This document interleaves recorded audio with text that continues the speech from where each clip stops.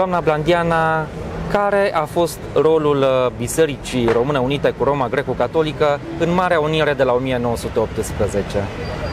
Îmi pare bine că îmi puneți întrebarea asta uh, acum doi ani la centenar. Uh, uh, am simțit așa ca, uh, ca pe o frustrare faptul că uh, nu s-au pus toate accentele care trebuiau puse.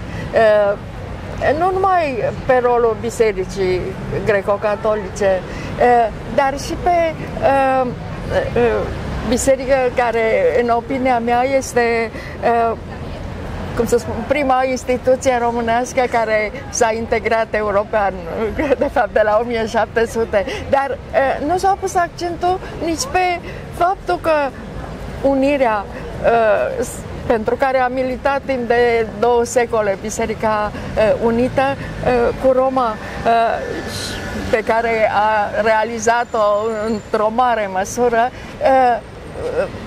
n-a fost privită ca o formă de intrare oficială în istoria europeană. Cred că așa ar fi trebuit să fie și în acest sens, în mod evident, e, e greu să te faci că nu observi.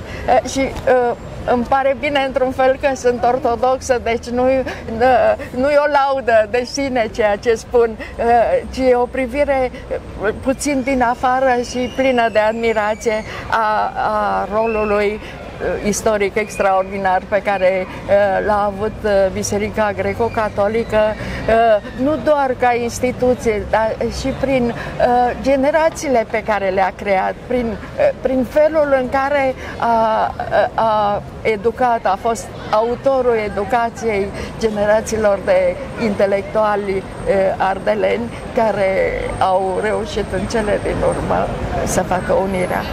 Știm uh, cu toții, astăzi este pe deplin uh, recunoscut faptul că cel care a vestit uh, Marea Unire a Transilvaniei cu regatul României a fost cardinalul Iuliu Hosu. Dacă privim în perspectivă, care este moștenirea istorică lăsată de cardinalul Iuliu Hosu, astăzi fericitul Iuliu Hosu? Moștenirea cardinalului Hosu este uh, mai mare decât uh, legătura cu unirea. În mod evident, el a fost cel care a citit uh, actul unirii, el este uh, prelatul alături de care s-a aflat evident și ortodox și uh, episcop Cristea, uh, dar moștenirea cardinalului Hosu merge mai departe și după acel moment augural, acea mare victorie a istoriei noastre pe care uh, a simbolizat-o de fapt și a condus-o.